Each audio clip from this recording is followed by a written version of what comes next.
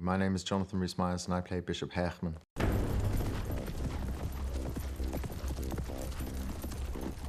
Bishop Heahmund is a Christian warrior. He's the Bishop of Sherborne. His allegiance is to King Aethelwulf, King of Wessex. This place is full of ghostly memories. God help those who did this.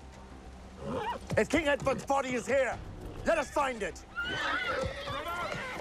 I needed a new character in the show who could at least inspire some hope in these dismal times and when all the Saxon forces are splintered and incapable of responding to the, to the great heathen army.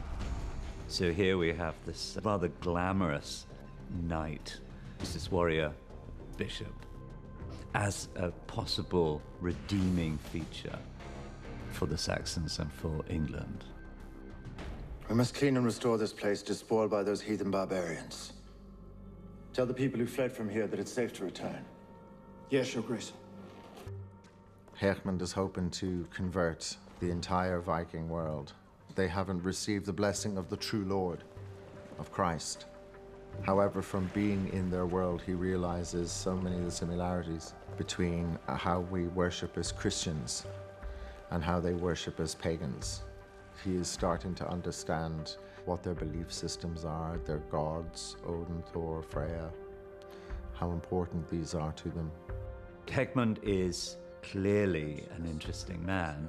He himself is torn between earthly desires and, and, and uh, spiritual belief.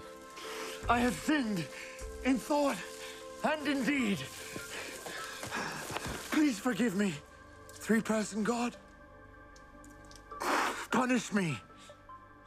Ravish me. Cleanse me of my sin. He's a great sensualist. He's an amazing warrior, but very aware of his sinful nature and at war with himself.